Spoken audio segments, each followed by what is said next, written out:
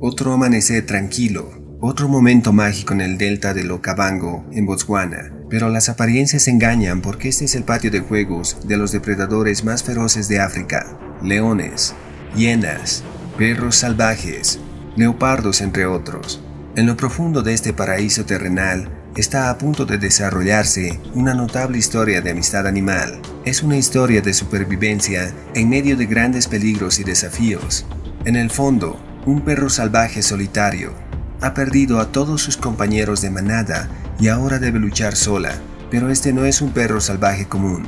Es un personaje colorido, determinado e inteligente, y ahora está forjando una nueva manada con otros depredadores, convirtiendo a antiguos enemigos en amigos, pero es suficiente para mantenerla con vida.